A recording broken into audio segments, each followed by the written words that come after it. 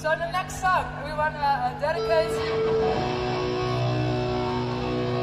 to a very